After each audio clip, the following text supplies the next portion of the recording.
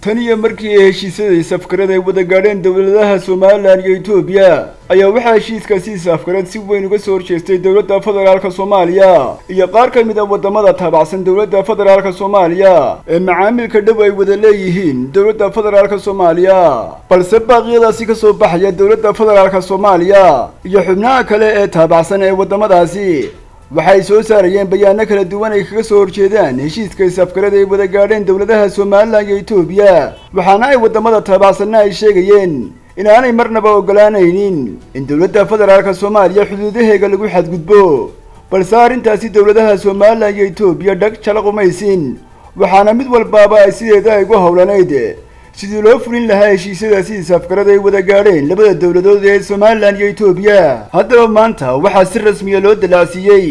xafiiskii diblomaasiyadeed ee somalilan ku lahayd waddanka etoobiya taasi oo dowladda federaalka etoobiya ay u dallacsiisay safaarad buuxda waxaana safaaraddaasi ee somalilan si rasmiya uga mid noqon doonta safaaradaha kale ee beesha caalamku ay ku leeyihiin dalka etoobiya dhinaca kale xafiiskii diblomaasiyadeed ee dowladda federaalka etoobiya oo ku lahaa somalilan gaar ahaana magaalada hargeysa ayaa waxay dowladda federaalka etoobiya ay si rasmiya ugu dallacsiisay xafiiskaasi ay ku lahaayeen magaalada hargeysa safaarad buuxda waxaana xafiiskani safaaradda ee dowladda federaalka etoobiya ay sida rasmiga ugu dallacsiisay ay noqonaysaa tan iyo markii ugu horreysay ee etoobiya intii ay cilaaqaadka iyo somalilan ay wada lahaayeen ay sidan oo kale dowladda federaalka etoobiya